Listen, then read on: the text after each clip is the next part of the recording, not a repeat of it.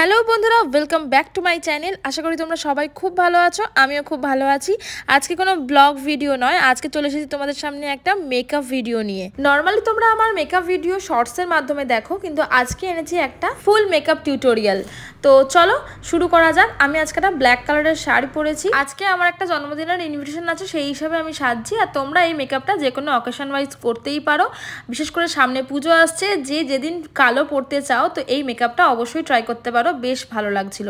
তো চলো, আমি তো শুরু করে দিয়েছি বকবক বক করতে করতে, তোমরা দেখতে থাকো। প্রথমেই আমি মেখেছি হচ্ছে মুখে ময়শ্চারাইজার কারণ আমি খুব একটা প্রাইমার ইউজ করি না, তবে ইউজ করতে হবে। প্রাইমারটা আমার শেষ হয়ে গেছে। ময়শ্চারাইজার মাখার পর আমি ফাউন্ডেশন ইউজ করেছি। অরিফ্লিমের দা ওয়ান পিচ পারফেক্টার ফাউন্ডেশনটা আমি ইউজ করেছি আর তার সঙ্গে সুইস বিউটির কনসিলার আর এখন আমি ইউজ করছি ব্লু হেভেনের একটা চিক টিন্ট যেটা বেশ ভালো পিগমেন্টেড ক্যাপটা লাগাতে গিয়ে কিছুটা লেগে গেল।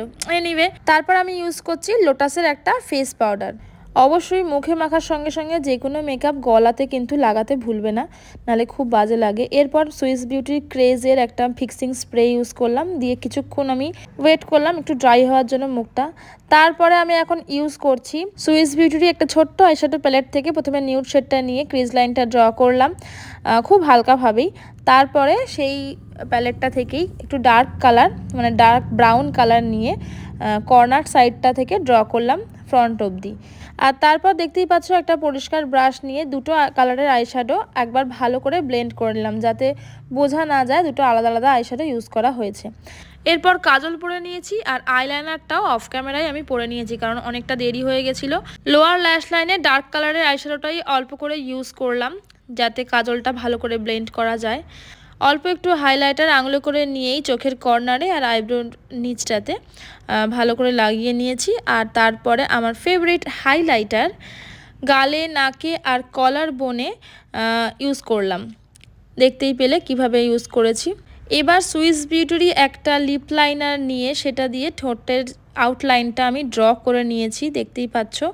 আর এখনকার যে ফেভারিট আমার লিপস্টিক কফি মোকা মিয়নের সেটা দিয়েই আমি ফিল করে নিলাম লিপটা এরপর মাইগ্লামের এই শেডটা নিয়ে ঠোঁটের মাঝখানটা একটু লাগিয়ে দিলাম, একটু পিঙ্ক পিঙ্ক ভাব দেখাবে সেই জন্য। কালারটা কিন্তু বেশ ভালো এসছে লিপস্টিকের একটা ছোট্ট কালো টিপ পরে নিলাম। ব্যাস, মোটামুটি কিন্তু আমি রেডি হয়ে গেছি। চুলটা জাস্ট একটু কম করা বাকি আছে। ও, আমি তো কিছু গয়নাই পরিনি এখনও কানের দুলটা পরা হয়নি, কানের দুলটা পরে নি। এই কানের দুলটা আমি দেখি কেমন লাগছে। কালো শাড়িটার সঙ্গে খারাপ লাগছে না, ভালোই লাগছে। পরে নিয়েছি। এবার ভাবছি, হার পরবো কি পরবো না? বুঝতে পারছি না। দেখি হাতের কাছে একটা ব্যাঙ্গেল পেয়েছি, এটাই পরে নিই ঠিক আছে, চলবে, ভালোই লাগছে।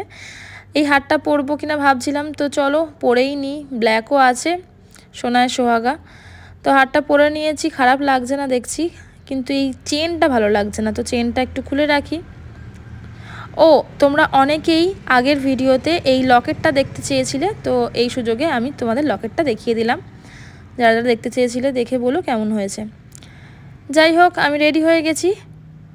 আজকের মেকআপটা কেমন লাগল অবশ্যই জানিও, ভালো লাগলে লাইক, কমেন্ট আর সাবস্ক্রাইব করো। Tata, love you all, bye.